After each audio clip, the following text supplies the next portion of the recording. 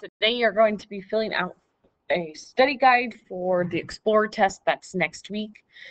As a reminder, if you are A Day, if you have social studies on A Day, your test is going to be January 27th.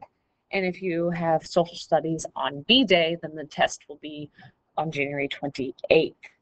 So to fill out the study guide, we're going to click on here and get started. So I click edit presentation, edit in browser.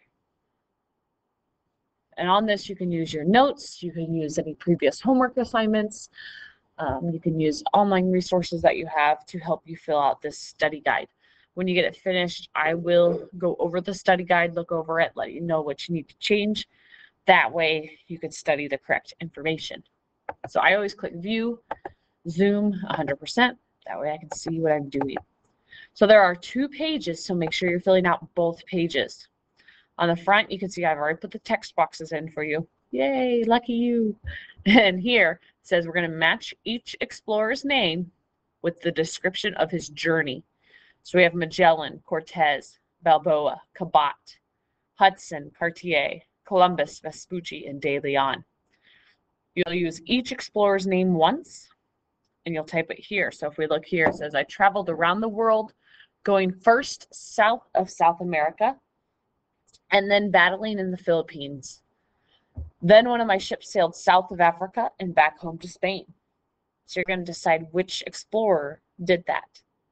And the next one says, I was a farmer, but was not good at it. So I ran away to Colombia. While I was there, I traveled to the Pacific Ocean. Then this next one says, I sailed to Canada and my crew mutinied against me. I sailed to the Bahamas and thought I had landed in India. The next one says, I looked for the fountain of youth, but did not find it. This one says, I conquered the Aztecs. And the next one says, I sailed north of Columbus's route and landed in Canada. I also thought I had landed in Asia. So just like Columbus thought that thought he had landed in India, Asia, this explorer thought it as well. I landed in Canada and claimed a lot of land for France. So which explorer did that? And then finally, I proved that the land Columbus found was not Asia. I had two continents named after me because of this discovery. So you're using each explorer name once writing the name of the explorer on the line. Just click in the box and type their name. You'll be good to go. Then you come over here to the second page. You have four vocabulary words. You're going to match the word with the definition.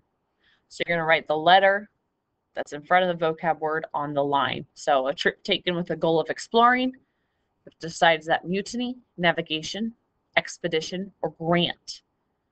Money given for a particular purpose deciding which word it is there and typing that letter on there, just the one letter. Science of planning and following a route. What is that vocab word? Rebellion against the leader of one's group. What is that vocab word?